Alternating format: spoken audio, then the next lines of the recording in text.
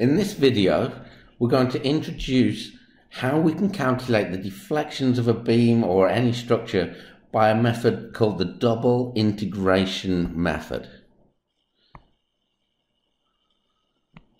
And we're going to show how, very quickly, how this method is derived and then go on to show examples of calculating the deflection of beams at various points. So we're going to go by way of an example. We have a beam with some loading on it. Here, I've got a uniformly distributed load. However, this could be n type of loading, point loads, linearly varying, distributed loads, etc. And doesn't necessarily need to be continuous across the whole beam.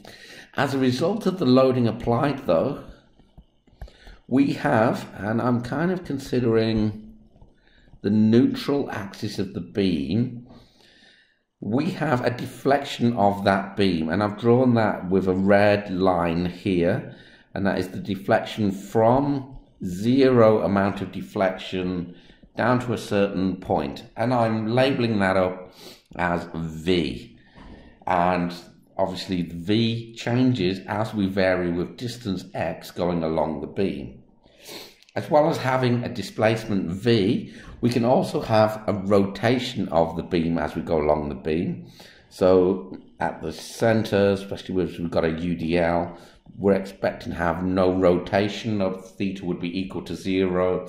As we go to this right hand side, we have theta, which if we measure from the x-axis and go anti-clockwise, we get a positive angle theta. If we to look at the other side of the beam, so where we've pointed out here, we would have a negative angle going from the positive x-axis. So as a result, we get a deflection. We can measure this deflection as v of x, but we can also measure this deflection by imagining if we have some point, I'll call it O, a radius of curvature, and I'm going to call that radius of curvature rho. And we can show, and I'm not going to do it in this video, from differential geometry, we can relate this radius of curvature rho to the deflection v of x. And I'm just going to state this now from differential geometry. So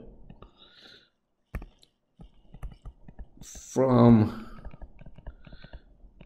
differential geometry, we get that 1 over rho is equal to d2v by dx squared all divided by 1 plus dv by dx squared and all to the power of 3 upon 2. So if our deflections v are very small, our rotation theta, which is also equal to the change in deflection with the change in distance going along the beam, so dv by dx. So if v is very small, dv by dx will be very small, and therefore dv by dx, or dv squared by d2v by dx squared will also be very small. So this term here in the brackets is going to be very small.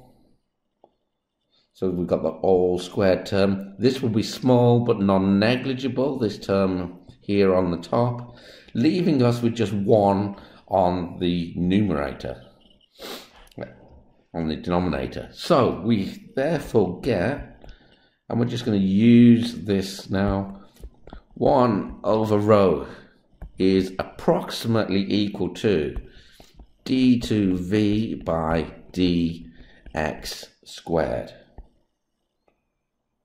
And we're just going to use this identity rather than go into the detailed derivation of where this identity comes from.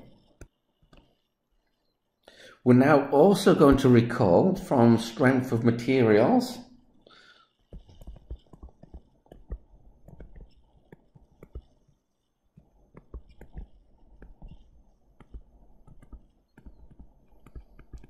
that we can derive something that we call the engineer's bending equation. If you haven't come across this before, you're going to have to bear with me. But the engineer's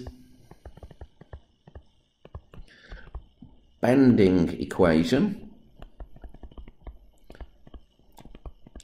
and we call it engineers because of the approximations we make in terms of small displacements etc and it's a weird equation because we have three parts to it and I'm just going to state it and say go back to some strength materials notes if you want to know where the derivation comes from there are three parts to it m over i equals sigma over y, which equals E over rho.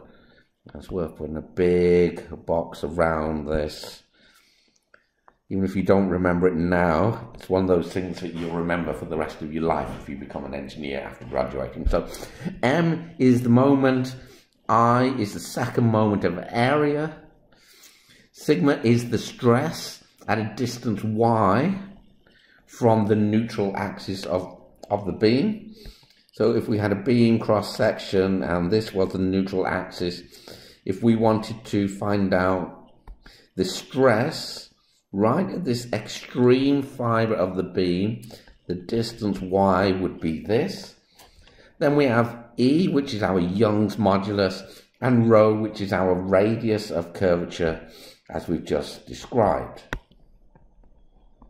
So we have three parts of this equation, and we're going to take some of this, this part, part one, and part three, to write that 1 over rho is equal to m divided by e i.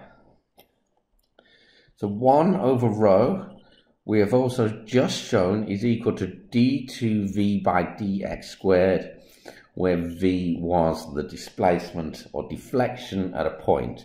So we're going to replace this 1 over rho, and we get d2v by dx squared is equal to m over ei.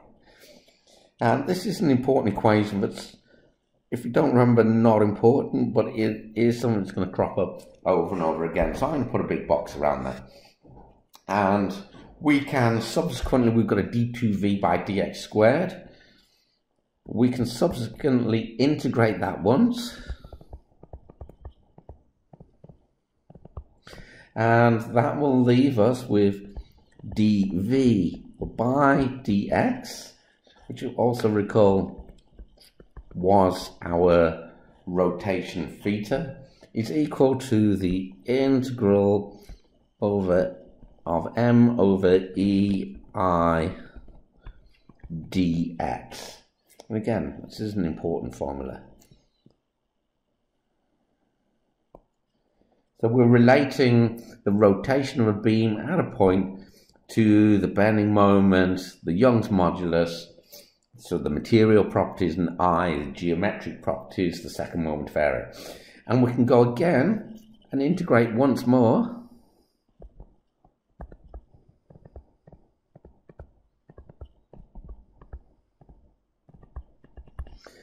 And this will get us to, so we integrate dv by dx gets us v is equal to the double integral of m over e i dx.